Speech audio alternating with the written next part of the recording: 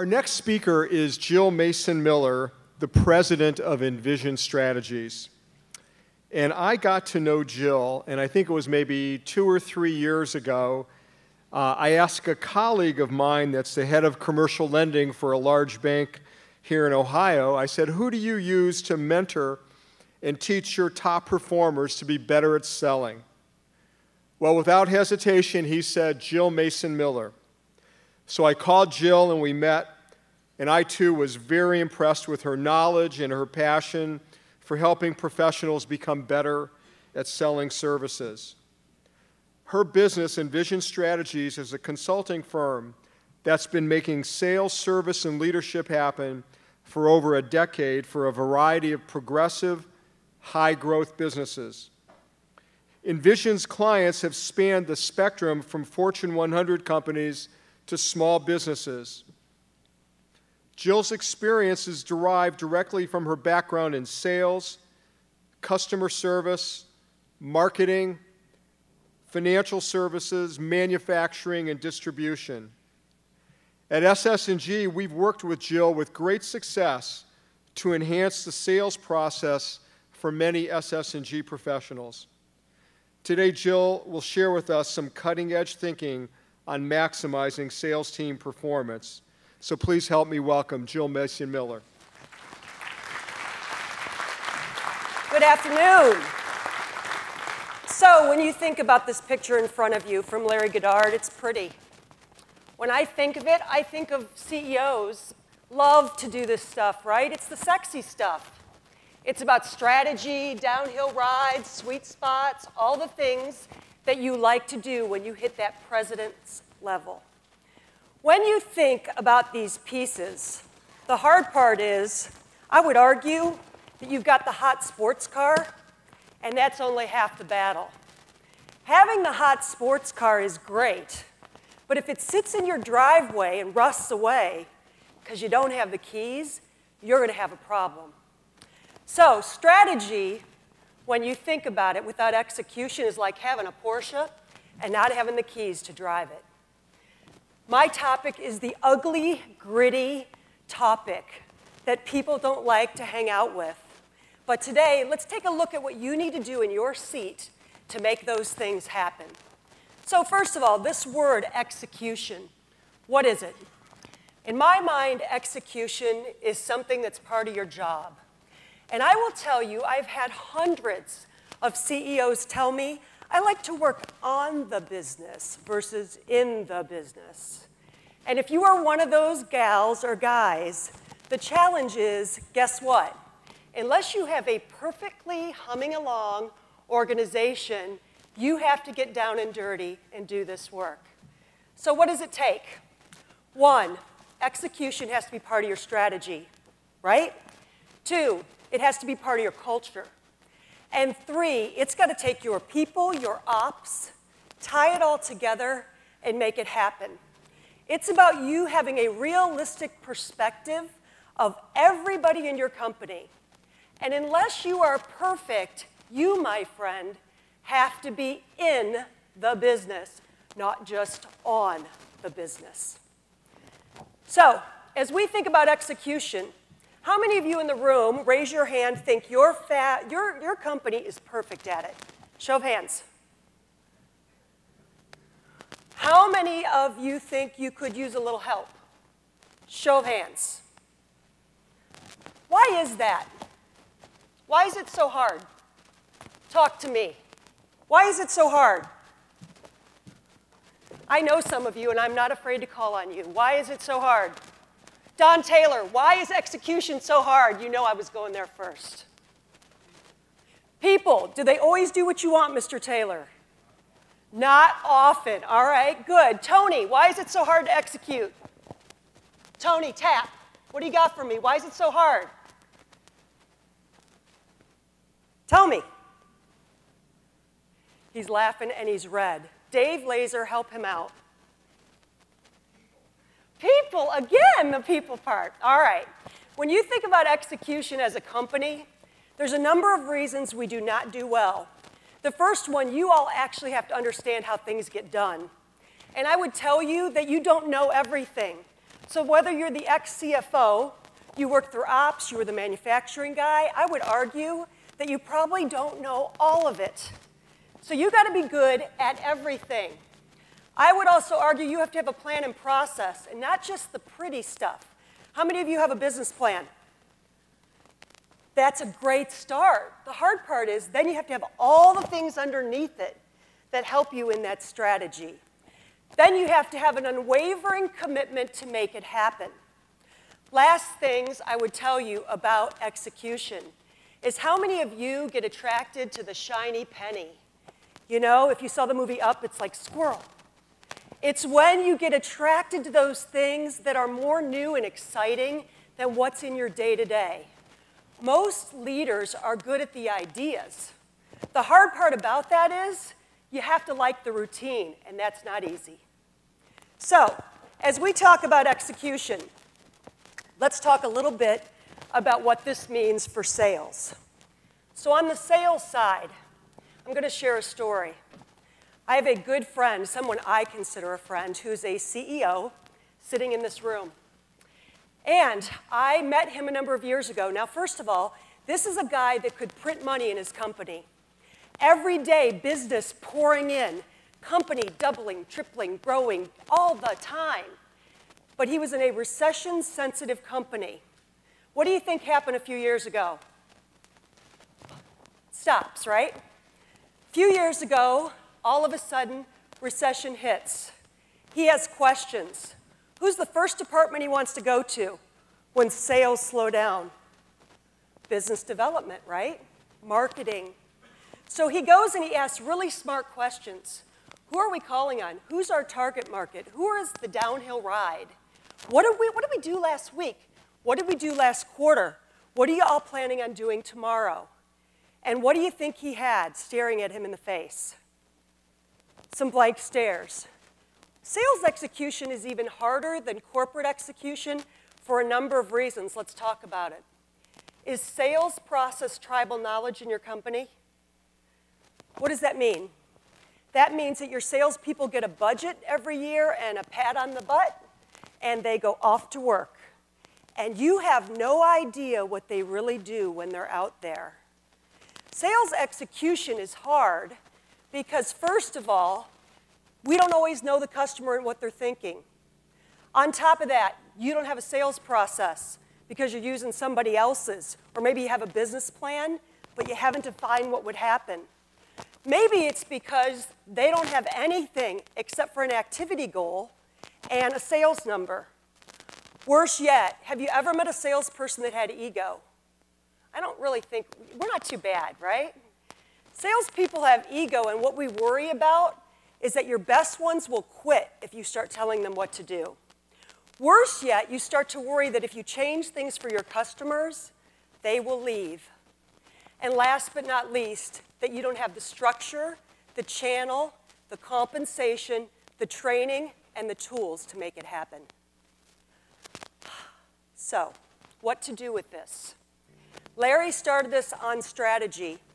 What I hope to deliver to you, and I hope to have some questions, are four things that I think you need to do to make sure that sales execution happens. So as we look at these four buckets, we're going to move and groove and talk about each. First one, under execution, under these pieces, is this marketing research segmentation piece. When you think about this piece, why don't you do it? Why don't you do enough of it? First of all, how many of you think you do enough market research, segmentation, and analysis. Why don't you do it? Come on. You think, are you guys actually know-it-alls out there? I can't even believe that, right? Yes, one of it is you, you know it, or you think you know it, or you knew it when? Five years ago. So one of the things that makes research and this investment so hard is we think we know it. What else does it take? Mr. Hickey, what does it take? A little money, which means you have to want to buy the data, hire the experts, do the surveys, do the pilot test before you launch and learn. Not the easiest thing to do. So let's talk about what this takes here. First of all, you should have a non-negotiable for your company that you better go out and figure out how people buy, why they buy, and you need to do it on a regular basis. You need to invest the money because all those excuses about money and time are gone. The internet helps us. We can do research quickly. You need to test those markets. You need to find the downhill ride. Secondly, when you think about what you have in your business, is how many of you have marketing and sales separated? Marketing, marketing are like the very cashmere kind of folks in your organization. Your salespeople look like me. We are a plaid pants and group. So what happens there is you have marketing and sales, and both of them are trying to figure out what you want us to do. Marketing is like, wait a second, what do we do? We're doing blogs and tweets, and our sales guys are making calls, and we're saying different things. So one of the things research, analysis, and segmentation does is it pulls the cashmere and the plaid pants together, and it says, guess what? We need to figure out who does what and how we make things happen, and we need to know what the roles are to do that.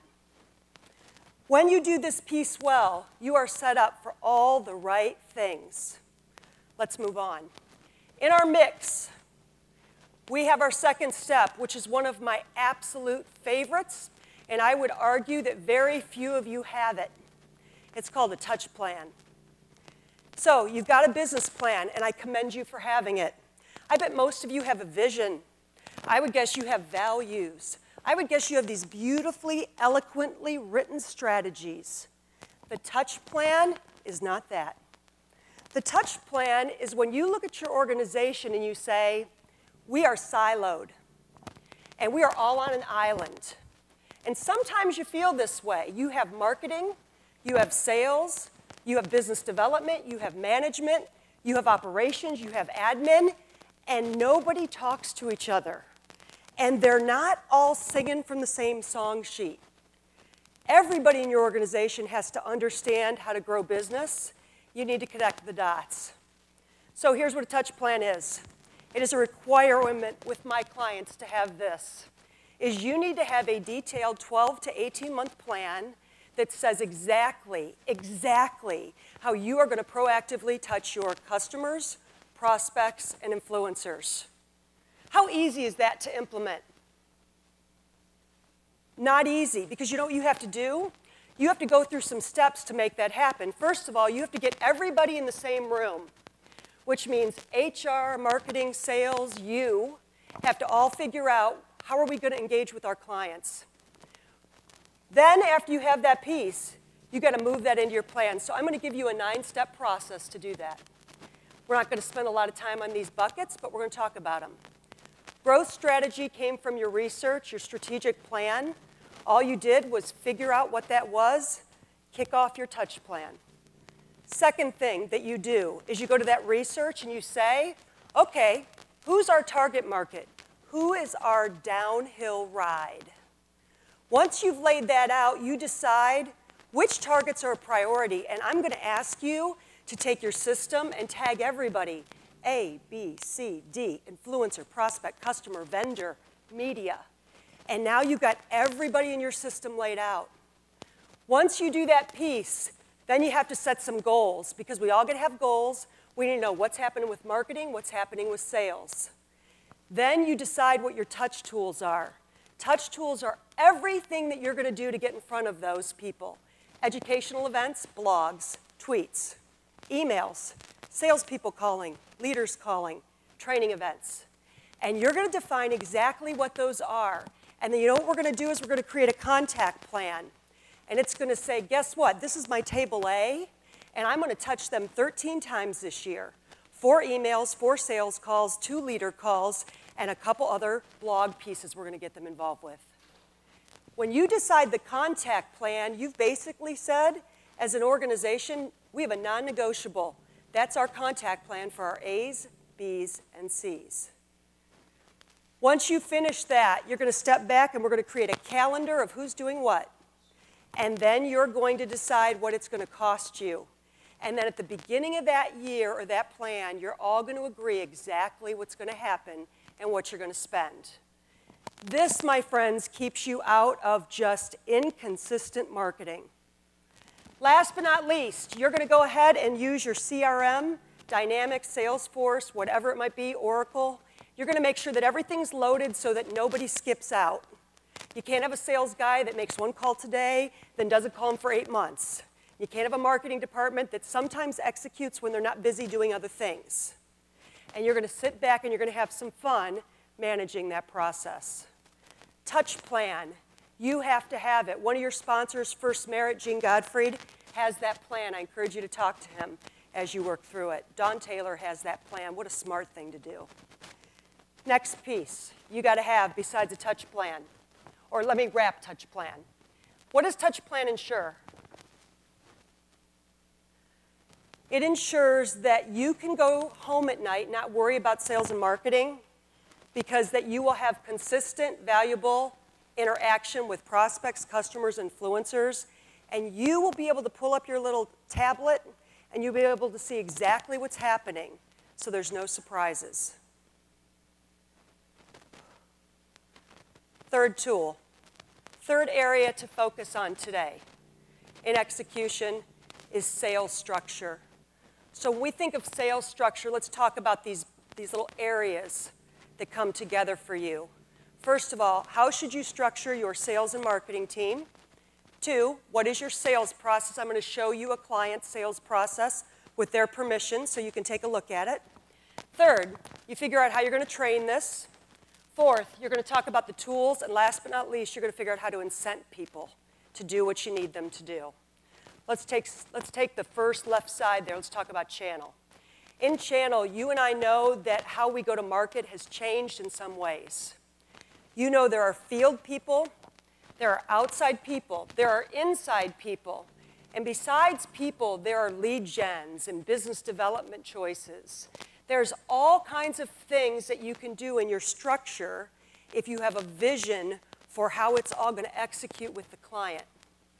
Key is you have to know the customer journey, you have to know how they become aware and how they buy, and then you have to match your structure up to the process and the customer. The hard part here is customers change and all of a sudden you have an old structure and you've got to kind of reinvent that piece. Next thing that you need to do after sales channel is you need to talk about your sales process. I am passionate about sales. I love sales. It's a great thing when you have a process. Sometimes you believe it's just the person you hire. To me, that's the maverick artist that kind of slides in, does a bunch of crazy stuff, and people say yes, and you figure, I don't know what to do there. He just makes it happen. You and I both know that's not repeatable. So, your sales process is a way for you to say, here's how we go to business, how we find prospects, how we find clients, how we service them, and how we plan our marketing and sales.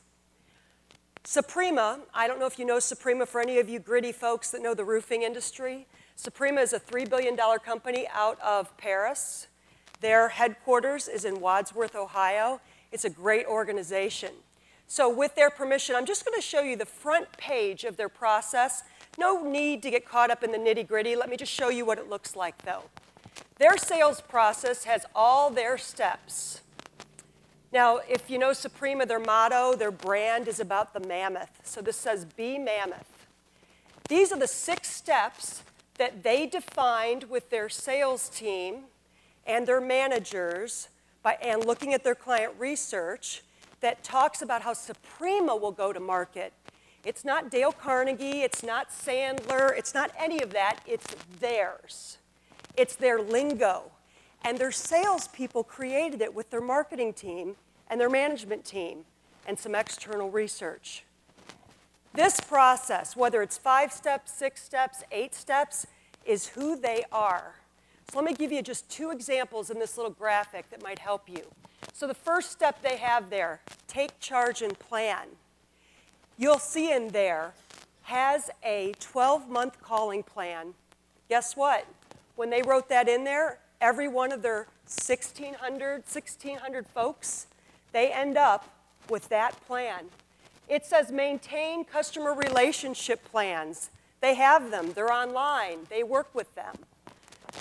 Next piece I'll highlight is they have recruiting general contractors and roofing contractors. Very specific to them, it's part of their process. In this process, they have a 28 page white paper that goes behind it. And that is what a salesperson lives into. Their whole company uses the language, it's in their performance reviews. When they hire somebody, they interview to it. They live this process. So the question for you is do you have yours that tightened up? Once you have the process, and we're close to questions, so think about your questions. I'm not letting you go without a few questions.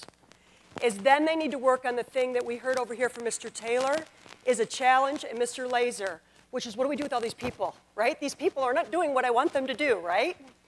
When you think about the people side, with all the other things set up, you're in good shape. So thinking about the people and the tools, you've got to go to the next level. So then you create the tools around your sales process.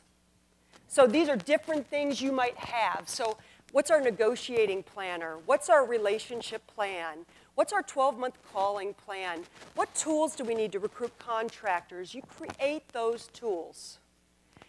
Once you have the tools through and done, you come up with your comp structure and your training.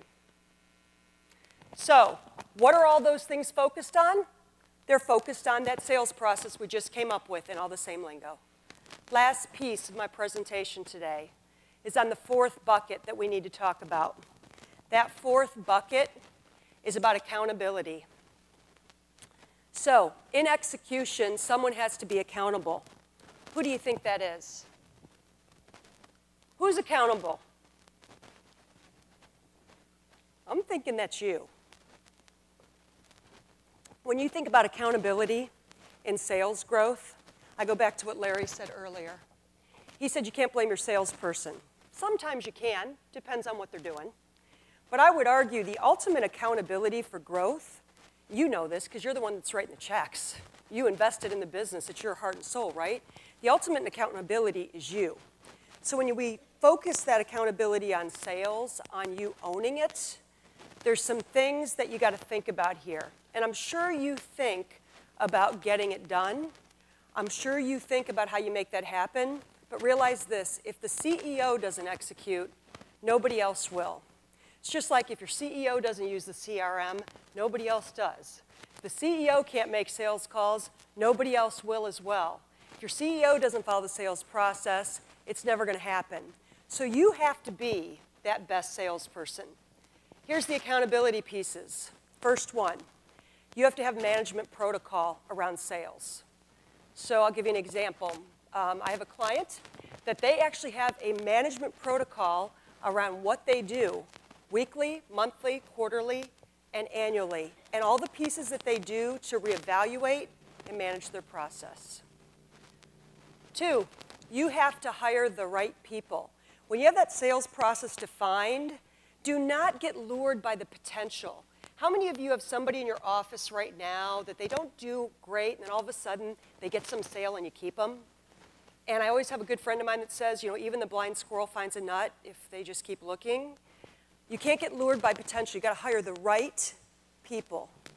Then you have to onboard them. And onboarding is not a one day agenda or a week. Onboarding for a salesperson is typically about a year, which means you in that year got to be doing a lot of things that happen.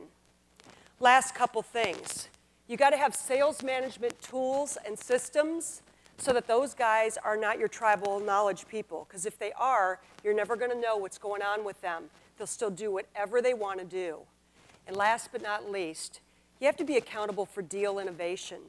One of the best things a sales manager does and a leader is figure out how do we get deals done faster? Because every deal doesn't fit into the beautiful box. So, when you think about the sexy stuff, the strategy, I would argue that that gets you halfway there. Halfway there. The hard part about that, though, is that you need all these four things to make it happen. So when you've got your sweet spot, you got your growth engine, now you're going to do the hard work, the heavy lifting. Research, analysis, segmentations. Touch plan detailing out in a year or 18 months exactly how you're going to touch your customers, prospects, influencers, having that in a document that marketing, sales, service, everybody agrees to, budgeting and calendaring around it, defining your sales process with your sales team, getting that in place, comp, training, all that good stuff, and then having the accountability to follow through. When you do those things, I believe that you get the keys to the car. You got the car already. That's your business plan. It's the reason you're sitting here. You were invited because you're successful CEO. It's getting the ability to drive that car that makes it so fun. So, what questions can I answer? Any questions? Yes, yeah, we're going in the back and then we're coming right up front. Yes, sir. Um, Daniel, excuse me, Daniel Pink has a book out called Drive Love it. that indicates that uh, uh, financial incentives might actually work against you in motivating people. What's your perspective of that on that in the context of sales? First of all, that is a great book, and my other assignment for you these days would be his last book that just came out, right? Is To Sell is Human. And when you read that and you get the research, you'll be amazed at how it changes you. There's not many good sales books out there. That one's good, and The Challenger Sale is the best book going. Anyway, let's go to Daniel Pink. So Daniel Pink says that business is not doing what science knows, right? Science says to us that what, what motivates us now, especially Y generation, you guys have kids, you know it's hard to motivate them. I have too, it's crazy. When you think about how we're motivated, we're motivated by three things. We're motivated by right control. We want control, autonomy, which how many of you have salespeople that would like you to leave them alone? all of them, right? Just leave me alone. I'll do better without you here, right? So we want autonomy. We also want mastery. So we want to feel like we are the best at something. And the third piece of that book is that we want to feel like we're giving back to the greater good. And I think you can thank us in the room that have hit that age where we want to give back and Y generation for being inherently that way. So here's what I would say to that. First of all, money is not necessarily a motivator, it's a demotivator, though, if you don't have it. So if you are in the line of paying people fairly and incenting the right behaviors, I think compensation still pushes salespeople because they strive to make some money. But I would argue, smart question, that you have to find a way to give them some autonomy and control. You need to make them feel like they are great at what they do, and you need to train them to make them feel that way. Because a lot of us have salespeople like me. I'm old, I got gray hair. So what happens is I want to feel like I'm still relevant. You got to make them feel that way. And then the third piece I would say to that is this whole social responsibility, which is part of that book, is you have to find a way for them to feel like when they're in a sales or a marketing role, they're doing something for the greater good. So, motivation, great book to read. I'm glad you brought it up. I think it's both. I think you got to pay them enough, you got to make them hungry and give them some other pieces, but if you don't have those three things, you're done, right? You're never going to get their heart and soul. Did that help a little? Sorry, it's uh, just happened to be a book that I like to read. Question, sir.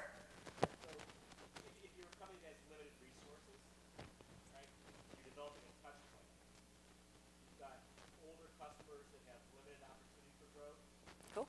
So your touch plan is going towards new opportunities? Yes. There's so many good questions in that. So first question is, if your company has limited resources, how do you get a touch plan done anyway? So I think part of it would be, first of all, you should try. On the touch plan piece, I would take that stat with that little blueprint I gave you in your book, and I would start clicking off those boxes, right? So what's our downhill ride? Who's our target market? And there's a lot of ways to quantify a market um, without doing all the research, especially if you're looking at things you can find online. I think that you have to kind of draw a line in the sand and figure out what would I do with these folks if I had all the money in the world? Figure out what the touch plan would look like. And then you know what you do? When you put that budget and that calendar together, start putting some metrics into if I get this, I'll do more. If I get this, I'll do more. The touch plan piece is usually not the expensive piece money wise